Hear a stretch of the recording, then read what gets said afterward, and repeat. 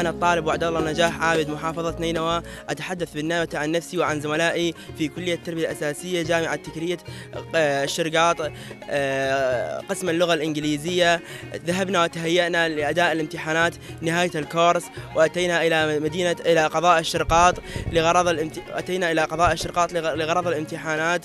واستقبلونا الأهالي بشكل جيد ووفروا لنا السكن والمأوى وحتى الفطور آه، وفروه لنا أيضا. ولم نجد أي أي مشاكل في في الجامعة ولا في الأهالي الذين. الذين مثلوا م- مدينة الشرقاط خير تمثيل وجسدوا لنا كل مبادئ القيم والكرامة ل- وأوصلوا للطلاب رسالة سامية من جميع المحافظات ليس من طلاب الموصل فقط بل من حتى محافظات الجنوب والشمال وال- والجميع المحافظات أنا عبد الحكيم عبد- الرحمن من محافظة السليمانية أحد الطلبة الذين يقومون بتأدية الامتحانات الحضورية في محافظة آه، صلاح الدين آه، قضاء الشرقاط.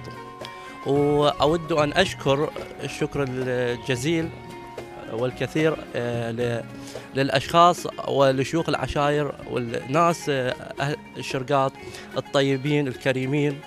الذين قاموا بالواجب آه، اتجاهنا وعاونونا بكل شيء إذا من دعم من كل النواحي دعم من كل النواحي. ما خلونا الحمد لله آه، نعتاز أي شيء.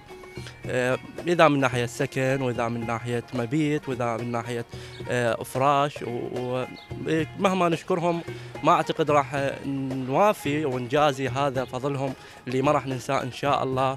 والحمد لله هم ما قصروا يعني ويا كل المحافظات اللي إذا كانت من الشمال وإذا كانت من الجنوب أنا من السليمانية وأكو هواي طلاب من الموصل وأكو هواي طلاب بعد مثلهم من كركوك وأكو هواي طلاب من الحلة والديوانية. وإذا أبقى أحكي على المحافظات وأحكي عدد الطلاب اللي متواجدين هنا يحتاج لنا وقت كلش كبير. أنا الطالب زياد عبد الدخيل محافظة صلاح الدين قضاء الشرقاط طالب في جامعة تكليف كلية التربية الأساسية الشرقاط آه، طبعا آه، أنا أشكر أهل المحافظات اللي جيتهم علينا وطبعا آه، هذا فضل يعني باسمي وباسم أهل الشرقاط أنا أحييهم وهذا واجب علينا يعني. مو اليوم والبارح إحنا كان نسويها وهذا واجبنا يعني.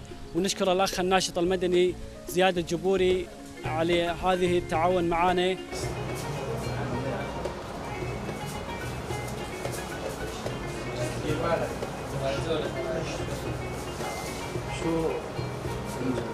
كنا كنا نتصور ان الامتحانات تكون إلكترونية. بلحظة معينة أصدرت منها امتحانات آه، يعني آه، حضورية فصارت الأمر. يجوز أنتم يعني إن شاء الله نقول وضعكم أحسن من غيركم. أنا أدري الطلاب الآن ببغداد بغير أماكن والله يدورون فنادق وما يعني ما ما يلقون. ما متوفرة نعم. فنقول إن شاء الله يعني أنتم وضعكم أحسن. وبين اهلكم إن شاء الله الكل ما يقصرون الكل ما يقصرون إن شاء الله. وإذا صار تقصير يعني مثل ما قلنا لكم أنتم الآن مو أنتم جزء منه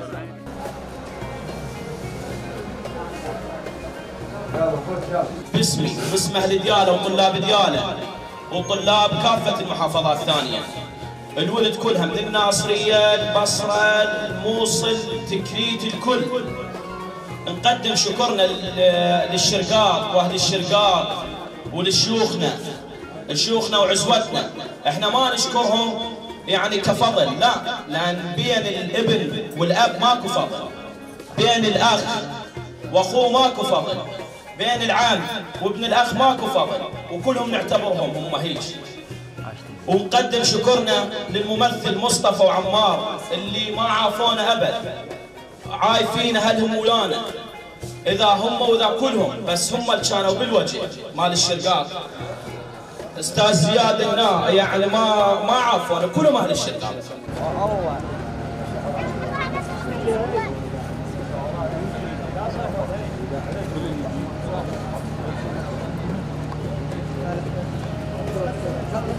هلا ومرحبا وألف هلا بيهم. والله كلهم ولدنا كلهم أولادنا عيني. كنا نخدمهم والله. هلا ألف هلا يا قلبي.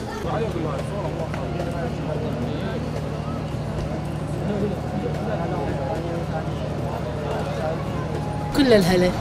نبي وتهلهم وإحنا هلهم همين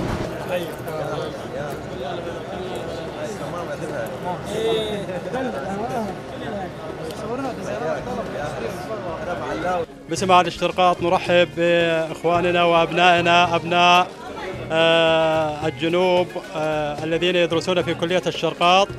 ونحن إن شاء الله آه، أخوة ونبقى أخوة متحابين.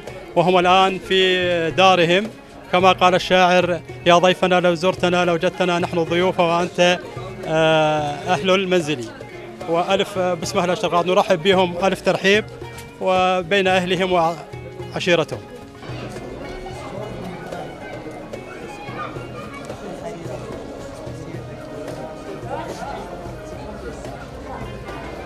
بداية باسم أهالي الشرقاط نرحب بأولادنا وأبنائنا وقرايبنا من محافظات الجنوب والموصل والبصرة وبغداد من أكثر من محافظة طلاب في كلية الشرقاط وأهلا وسهلا بهم. وما نعتبرهم ضيوف لأن هم ولدنا وأهلنا. وإحنا كعراقيين يعني كلنا إن شاء الله بيت واحد وأهل واحد وعشيرة واحدة وقبيلة واحدة دون مسميات.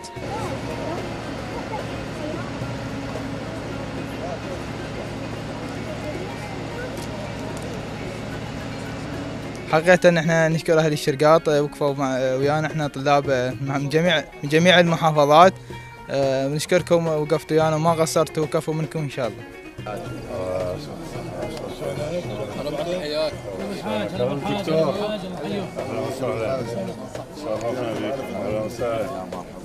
بسم الله الرحمن الرحيم. أحب أن أقدم الشكر من قلبي نيابة عن أخواني من محافظة بابل وكل محافظات العراق إلى أهالي شرقاط في كل كافة عشائرها ونواحيها بتقديم الخدمة للطلاب. نشكر أهالي الشرقاط جميعا على ما قدموه من ال- الاحترام والتقدير لنا والاستضافة الطيبة. وجميع العشائر في الموجودة في قضاء الشرقاط وما قدموه التقدير والاحترام في كل الأمور. السلام عليكم. وهلا بكم بيت بيتكم بسم الله الرحمن الرحيم. باسمي وباسم عشائر الشرقاط نرحب بالطلبة الوافدين من جميع محافظات العراق آه، الوسط والجنوب والشمال. والبالغ عددهم أكثر من 300 طالب والحمد لله اليوم الثامن على التوالي يقوم قضاء الشرقاط بإفطار الطلبة الموجودين الوافدين من كل العشائر في قضاء الشرقاط.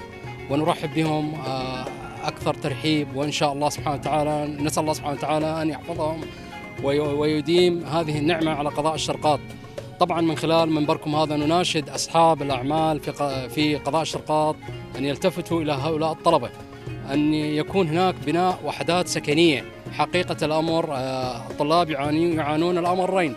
آه، بعد المسافة بين قضاء الشرقاط والمحافظات الجنوبيه نناشدهم بأن تكون هناك بنايات لهم أقسام داخلية. والحمد لله الشرقاط آه، متسع من الأراضي متاحة ومهيئة لبناء آه، الأراضي الموجودة. طبعا كلها قريبة على كلية التربية في قضاء الشرقاط.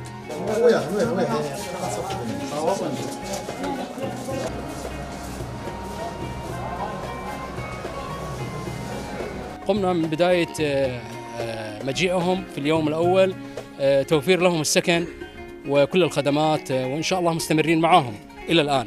والحمد لله كانت يعني مبادرة جيدة من قبل الأهالي بإعداد الطعام والسيارات وحتى أصحاب المحلات عندما يرى الطلاب الوافدين من من خارج محافظة صلاح الدين وقضاء الشرقاط أغلبهم يعني يشتري الحاجة كان لا يأخذ منهم مبلغ مال.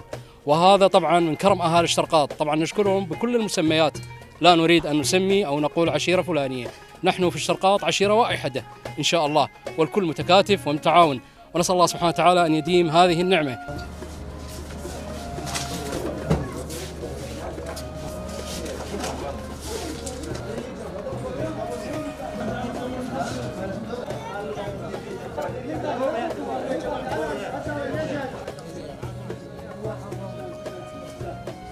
هذا الثانية هذه هذا الشيء